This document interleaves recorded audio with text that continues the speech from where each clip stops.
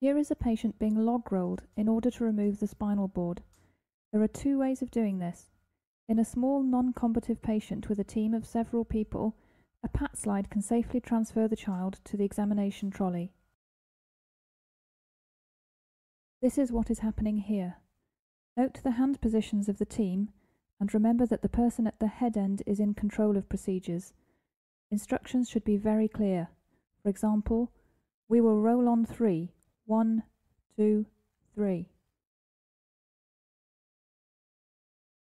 In a large or combative patient or a smaller team of helpers, it is better to lift the spinal board over, then perform the log roll on the examination couch, removing the spinal board at that stage.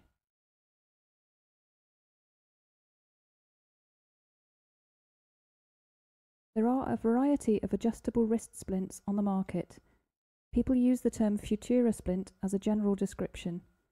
Watch how the Velcro straps are adjusted for comfort. Some splints come with a rigid thumb extension, which is used for first metacarpophalangeal injuries and possible scaphoid fractures. A wrist splint can also be used for simple buckle or torus fractures of the distal radius. The scaphoid bone is located in what is known as the anatomical snuff box. This is the area outlined by extensor pollicis longus and extensor pollicis brevis. In other words, ask the patient to extend their thumb and you will see a groove.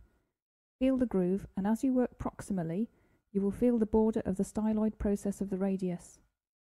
If there is tenderness in the groove itself, in other words over the scaphoid bone, there may be a fracture. However, many patients have tenderness here because a branch of the radial nerve passes along here and pressure here hurts. Therefore, you need to do some more tests. In the clip, you first see the doctor testing the anatomical snuff box. Next, test the other aspect of the scaphoid bone, which is on the volar aspect of the wrist, just as you feel the edge of the styloid process of the radius run out. Tenderness in this groove is a more reliable sign than in the anatomical snuff box. Lastly, if you pull on the thumb, this pulls the first metacarpal and distracts the scaphoid fracture. Similarly, if you push in line with the metacarpal, this compresses the fracture. These two movements are known as telescoping the thumb. The doctor performs all of these tests. To examine the extensor tendons, you just need to ask the child to keep the finger out straight and not to let you bend it, as in this example. A fully torn tendon will cause the finger to droop. A partial tear will be more subtle, but there will be pain as the child tries to resist you pressing. As as you can, and keep them really, really stiff and really fight me, and don't let me press them down, okay? Really strong. Great. That's really good. There are two sets of flexor tendons, and you have to examine these separately. Like with the extensor tendons, you need to test against resistance, that is, you putting on pressure, if you're going to detect the more subtle partial tears. Watch how the doctor tests firstly the superficial flexor tendons, then the deep tendons, and listen to how she explains this to the child. Okay. You just let your fingers relax like that. Now we're going to practice bending instead. Okay, so if I hold those, can you bend your thumb over there? Now keep it in there really, really strong. Don't let me pull it That's really good. Okay, same with that one. Bend it up. Right, don't let me pull it down. That's really good. Let's try that one. That one. Bend it up. Right, really strong. That's good. That one. Bend it up. Really strong. Great. Turn it over again. Now, just bend up the tip. Really strong. That's good. Let's try this one. Hang on a minute. Put it down first. Right, now just do the tip. Brilliant. Down flat. Okay, just the tip. Very good. And then that one, just the tip. Very good. Okay. When you test for nerve damage, you need to test both sensation and power. When you test sensation, do not ask if the child can feel you. This is not sensitive enough. You need to test for altered rather than totally absent sensation. Listen to how the doctor asks the question and watch as she tests the reliable nerve territories in the hand, in other words, exactly where she is testing. This is important because there is a lot of overlap due to individual variation. She tests the radial nerve first, then the median, then the ulnar nerve. Okay, can I have a little look at your hand then, Amber? Can you tell me if it feels okay when I touch it? Okay, so when I touch there, do you think it feels like normal or do you think it feels a bit funny or fuzzy? Mm-hmm. Just normal? Brilliant. Okay. What about there? Normal? Fantastic. What about over here? That's just normal? Brilliant. In testing power, listen to the instructions she gives so the child can cooperate. Watch as she tests firstly the radial nerve, then the median, and lastly the ulnar nerve. Last thing I want you to do is keep your hand out straight. Okay, like that, and don't let me bend your hand at all. Really good. Fantastic. What I want to now test is how strong you are doing other things. Okay, I want you to do that with your finger. Okay, and don't let me open it. Keep really strong. That's brilliant.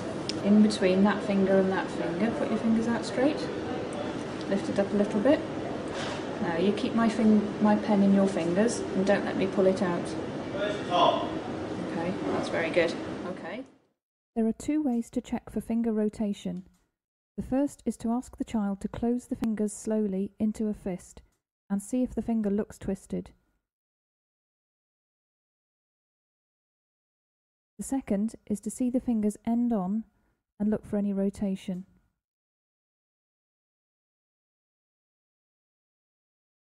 To reduce any dislocated joint, the general principles are disimpaction, which usually means extension, then reduction back to where the position should be. This is just the same in a dislocated proximal interphalangeal joint, which we see here. It helps to use gauze to prevent you slipping on the patient's skin. You see the doctor disimpact the bone ends, then applying firm pressure to push the joint back into position. You will usually need either Entonox or a digital block to achieve this. Remember to x-ray the joint afterwards.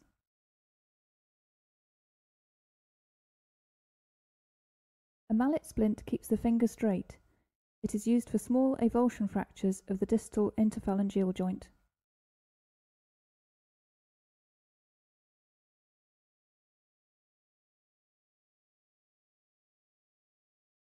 Look at the knee before you begin.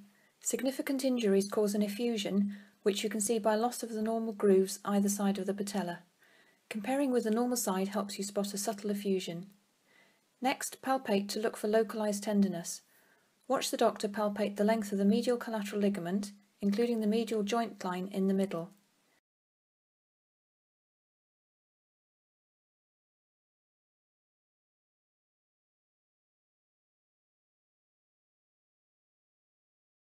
Then the lateral collateral ligament, again conscious of palpating the lateral joint line in the middle.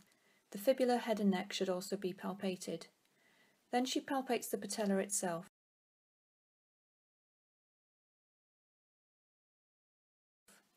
Next, she tests if the patient can straight leg raise. Then she puts her own knee under the patient's and encourages him to relax his quadriceps muscle. The patient is often tense when in pain. This allows her to assess his collateral ligaments for laxity. The lateral collateral ligament is tested by holding the medial thigh still with one hand, while using the other hand to push the lower leg medially to see if there is any laxity across the joint line of the knee. The medial collateral ligament is stressed in the same way, changing her hand positions.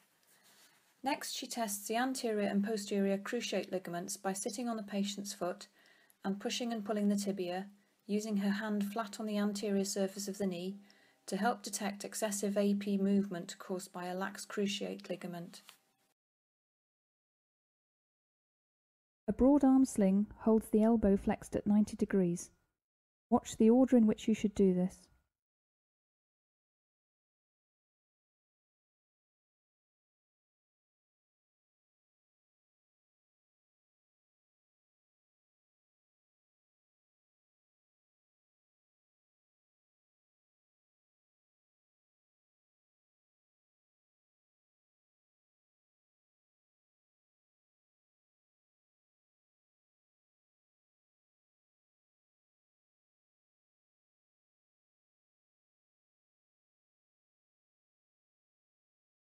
A high arm sling elevates the hand to prevent swelling.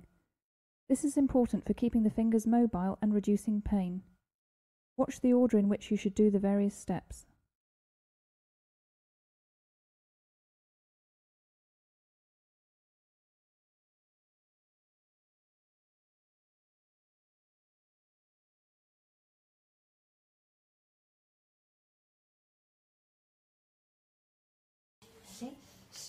Put this on your poorly arm?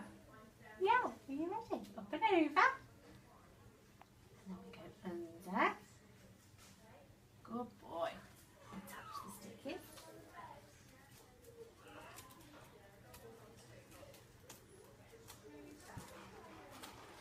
Wait a minute. That's it. Good boy. Okay, up and under.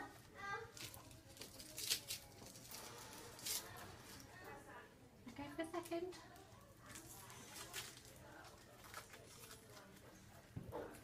Good boy, nearly there. Let go. Let's have a little look. Wait a second. Relax your arm. That's it. There we go. And there. Ooh. Okay. Finished. The purpose of neighbour strapping is to give an injured finger the support of its next finger. We do this with two strips of tape, positioned as seen, to allow flexion and extension of the fingers. We also put a piece of gauze between the fingers to absorb moisture to prevent the skin rubbing. It's lovely. It's not too tight. Okay, my dear. That's all I'm going to do. All right? It's all done. The Bedford splint does the same thing as neighbour strapping, but is more comfortable and easier to take on and off. It simply holds the two fingers together so the injured finger has some protection and support from its neighbour. A Zimmer splint keeps the finger straight. It is used for a variety of finger fractures. It gives more support than a simple neighbour strap.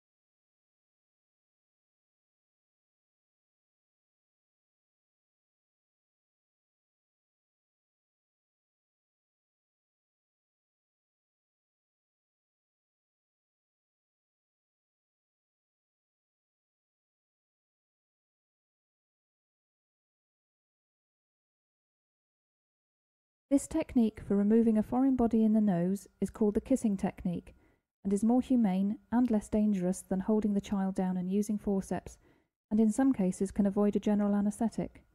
Most children find it very funny. Listen to the explanation, then watch as the parent obstructs the clear nostril, then blows a short, sharp puff into the child's mouth to expel the foreign body, in this case a pea, out of the other nostril.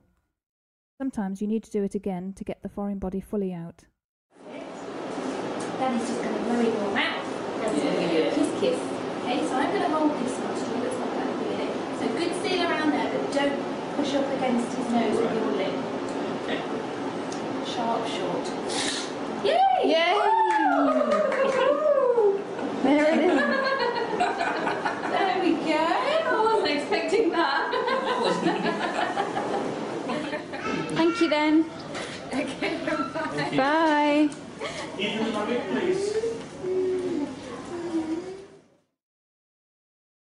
This clip shows an eye with a corneal foreign body after local anaesthetic drops have been applied and the patient is on a slit lamp. The doctor holds a green needle perpendicular to the eye's surface and gently scrapes the foreign body off the cornea with the bevel of the needle. The cornea is quite tough, so isn't damaged. A pulled elbow can usually be manipulated just by pronation and supination. Sometimes it requires full extension, which is more painful. In practice, these two manoeuvres are best done back to back to avoid distress if a click isn't felt just on pronation and supination. To feel the click of the head of the radius slipping back into position, keep your thumb over the head of the radius. If you feel a click, you don't need to go on to the second manoeuvre. Once you're done, leave the child alone for 5 to 10 minutes to calm down. Ask the parents to tempt them to use it with toys or food. It's very satisfying to return to see a happy child using its arm normally.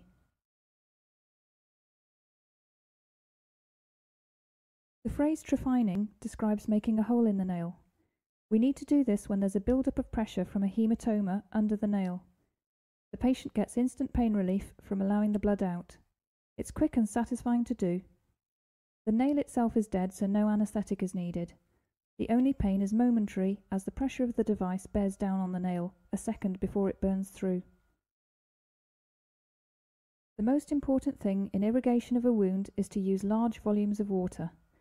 Use a 20 or 50 ml syringe and run the whole lot in.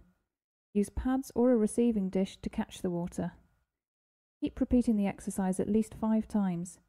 This means the bacterial load is very significantly diluted and the body's normal defences can do the rest.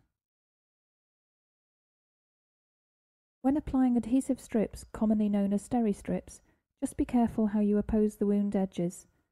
They should neither be bunched up nor so loose that the gap persists. To help keep the strips in position for the next few days, a supporting strip can be put at right angles on both sides of the wound to hold the edges of the main strips down. Tincture of benzoate is a sticky substance that can help stick them to the skin as well. When gluing a wound, oppose the edges to their final position and then apply the glue over the top. Do not allow the glue to go into the wound itself or it will create a scar. After application, hold your position for a few seconds while it sets.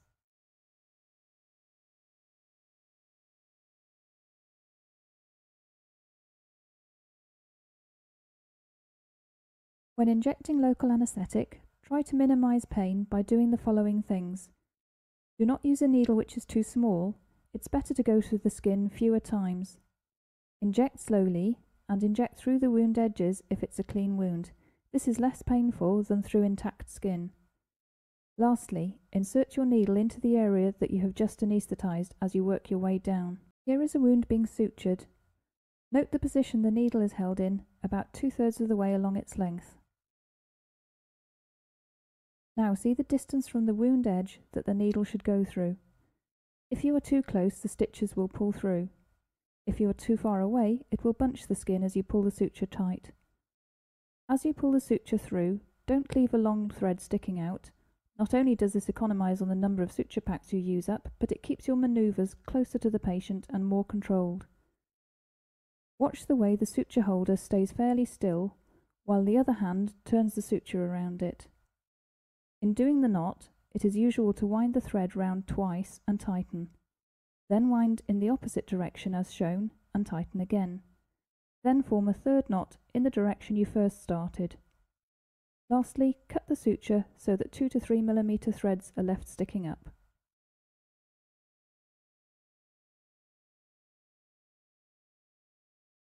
When dressing the fingers or hand of a toddler, it's important that all your hard work is not wrecked the minute they go home in the car and decide to pull it all off.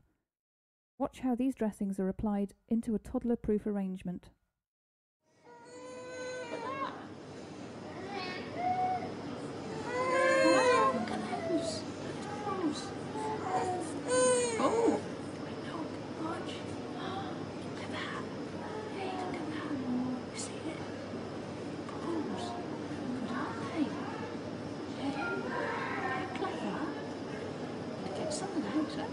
Daisy, Daisy.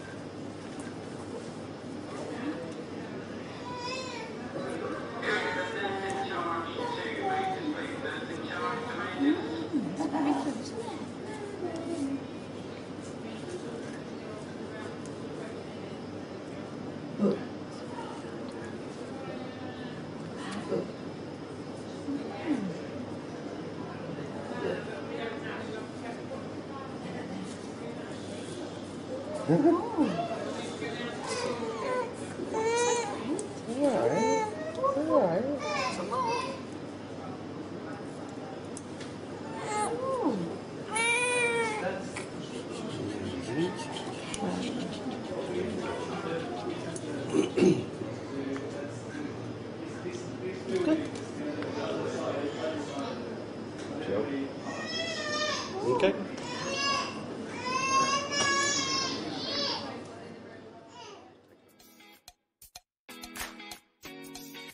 Please help my YouTube channel grow. Please remember to like, subscribe, and share. Did you like the video? Please leave a comment below. Thank you.